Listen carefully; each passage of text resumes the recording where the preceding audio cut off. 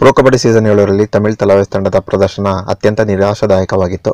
ಅಜಯ್ ಠಾಕೂರ್ ನಾಯಕನಾಗಿರುವಂತಹ ತಮಿಳ್ ತಲವೇಸ್ ತಂಡ pro kabaddi season ಏಳರ points ಟೇಬಲ್ನಲ್ಲಿ ಕೊನೆಯ ಸ್ಥಾನದಲ್ಲಿದೆ. ಈಗಾಗಲೇ ಪ್ಲೇ ಆಫ್ ರೇಸ್ ಇಂದ ತಮಿಳ್ ತಲವೇಸ್ ತಂಡ ಹೊರಬಿದ್ದಿದೆ. ಹೀಗೆ ಸೀಸನ್ ಏಳರಲ್ಲಿ ಕಳಪೆ ಪ್ರದರ್ಶನವನ್ನು ನೀಡಿ ತಮಿಳ್ ತಲವೇಸ್ ತಂಡ ಬೆಂಗಳೂರು ಬುಲ್ಸ್ ತಂಡದ ಆ ಒಂದು ದಾಖಲೆಯನ್ನ ಮುರಿದಿದೆ. ಹಾಗಾದ್ರೆ ತಮಿಳ್ ತಲವೇಸ್ ತಂಡ ಬೆಂಗಳೂರು ಬುಲ್ಸ್ನ ಯಾವ ದಾಖಲೆಯನ್ನ ಮುರಿದಿದೆ ಎಂಬುದರ ಬಗ್ಗೆ ಇರುವಂತಹ ಡೀಟೇಲ್ಸ್ ಅನ್ನ ಇವತ್ತಿನ ಈ ವಿಡಿಯೋದಲ್ಲಿ ನಾವು ನಿಮಗೆ ಕೊಡಲಿದ್ದೇವೆ. ಅದಕ್ಕಿಂತ ಮುಂಚೆ ನೀವು ಬೆಂಗಳೂರು ಬುಲ್ಸ್ ತಂಡದ ಅಭಿಮಾನಿಯಾಗಿದ್ದರೆ ಈ ವಿಡಿಯೋಕ್ಕೊಂದು ಲೈಕ್ ಮಾಡಿ. ಹಾಗೆ ಬೆಂಗಳೂರು ಬುಲ್ಸ್ ತಂಡ ಸೀಸನ್ ಏಳರ ಟ್ರೋಫಿಯನ್ನ ಎತ್ತಿ ಹಿಡಿಯುತ್ತದೆ ಇಲ್ಲೋ ಎಂಬುದರ ಬಗ್ಗೆ ನಿಮ್ಮ ಅನಿಸಿಕೆಯನ್ನ ಕಮೆಂಟ್ ಬಾಕ್ಸ್ ಅಲ್ಲಿ ಕೂಡ ತಿಳಿಸಿ. ಪ್ರೊ ಕಬಡ್ಡಿ ಸೀಸನ್ ಏಳು ಆರಂಭವಾದಾಗ ತಮಿಳ್ ತಲವೇಸ್ ತಂಡ ಸೀಸನ್ ಏಳರ ಪ್ರೊ ಕಬಡ್ಡಿಯ ಟೈಟಲ್ ಅನ್ನು ಗೆಲ್ಲುವ ಹಾಟ್ ಫೇವರೇಟ್ ತಂಡವೆಂದು ಬಿಂಬಿತವಾಗಿತ್ತು. ಯಾಕೆಂದರೆ ತಮಿಳ್ ತಲವೇಸ್ ತಂಡದಲ್ಲಿ ದೊಡ್ಡ ದೊಡ್ಡ ಘಟಾನುಘಟಿ ಕಬಡ್ಡಿ ಆಟಗಾರರು ಇದ್ದರು. ತಮಿಳ್ ತಲವೇಸ್ ತಂಡದಲ್ಲಿ ಅಜಯ್ ಠಾಕೂರ್, ರಾಹುಲ್ ಚೌಧರಿ, ಮಂಜಿತ್ ಚಿಲ್ಲರ್, ಮೋಹಿತ್ ಚಿಲ್ಲರ್, ರಣ್ ಸಿಂಗ್, ಶಬೀರ್ ಬಾಪು ಅಂತ ಘಟಾನುಘಟಿಗಳು ಇದ್ದರು. ಆದರೆ ಇಷ್ಟೊಂದು ಘಟಾನುಘಟಿ ಆಟಗಾರರು ತಮಿಳ್ ತಲವೇಸ್ ತಂಡದಲ್ಲಿ ಇದ್ದರೂ ಕೂಡ ತಮಿಳ್ ತಲವೇಸ್ ತಂಡ ಸೀಸನ್ ಏಳರಲ್ಲಿ ಕಳಪೆ ಪ್ರದರ್ಶನವನ್ನು ನೀಡಿ ಎಲ್ಲರ ಟೀಕೆಗೂ ಕೂಡ ಗುರಿಯಾಗಿತ್ತು. ತಮಿಳ್ ತಲವೇಸ್ ತಂಡದ ಕಳಪೆ ಪ್ರದರ್ಶನ ಎಷ್ಟರ ಮಟ್ಟಿಗೆ ಇತ್ತಂದ್ರೆ ತಮಿಳ್ ತಲವೇಸ್ ತಂಡದ ಕೋಚ್